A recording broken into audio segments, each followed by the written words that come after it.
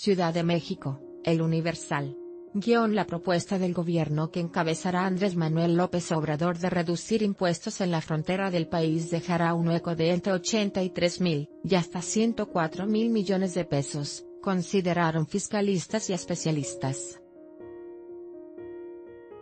El plan de la futura administración federal es bajar el IVA de 16% a 8%, y el IS de 30% a 20%, lo que para los expertos consultados también significa un riesgo de convertir a esa zona del país en un paraíso fiscal.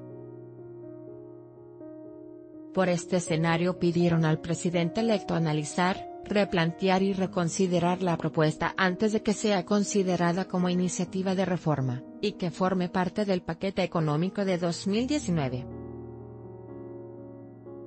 La máxima pérdida recaudatoria que calcula el Centro de Investigación Económica y Presupuestaria, CIEP, es similar al presupuesto de la Secretaría de Desarrollo Social, 106.645 millones de pesos en 2018 mientras que la cota inferior de la estimación equivale al gasto total de la Secretaría de Comunicaciones y Transportes, 84.548 millones. En un intento por evitar que se convierta en un gasto fiscal o pérdida recaudatoria, el presidente del CIEP, Héctor Villarreal, pidió respetuosamente a Andrés Manuel López Obrador reconsiderar dicha propuesta por medio de sus redes sociales, expuso que cuando un país tiene una baja recaudación tributaria, como México, es poco probable que un estímulo como ese tenga un efecto neto positivo. Ante esa preocupación, el CIEP realizó el estudio Recaudación del IVA e IRA en la frontera, Impacto en Recaudación, elaborado por el analista, Adrián García Gómez. La propuesta dejaría un eco importante en las finanzas públicas, presionadas por cambios sociodemográficos que tienen implicaciones en el presupuesto, sobre todo con aumentos en el gasto en pensiones y salud, se advierte en el documento. Aún así, destaca que la medida puede aumentar la competitividad en la zona fronteriza y atraer mayor inversión y consumo. De acuerdo con Adrián García, Bajar el IVA a 8% en la frontera norte representa dejar de obtener un máximo de 55.163 millones de pesos. Señaló que la medida que pretende introducir el nuevo gobierno tiene como fin estimular el consumo interno, lo que implicaría una reducción de 6.9% en los precios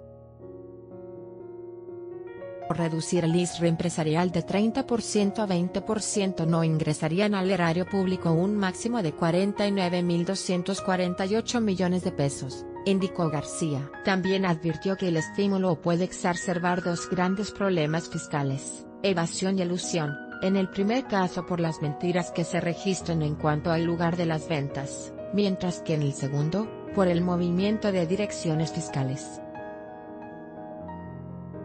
Paraíso fiscal El presidente del Instituto Mexicano de Contadores Públicos, INC, José Becil, destacó que si bien bajar el IVA, y el ISR en la frontera norte es una estrategia de carácter competitivo, se necesita saber cuáles serán las reglas que se emitirán para evitar que dicha región del país no se convierta en un paraíso fiscal.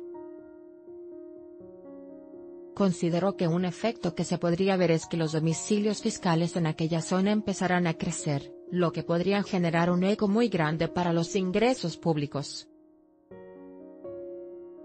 El contenido de la reglamentación o las pautas del juego de los domicilios fiscales en donde se están llevando a cabo los negocios, es el complemento que los contadores tienen que buscar dentro del análisis en la función de los ingresos en nuestro país, de carácter fiscal. Más inversión sin embargo, para el Banco de México, Banxico, el acuerdo entre el presidente electo y los gobernadores fronterizos del norte, que incluye reducir el IVA y el ISR, podría estimular la captación de inversión en esa parte del país.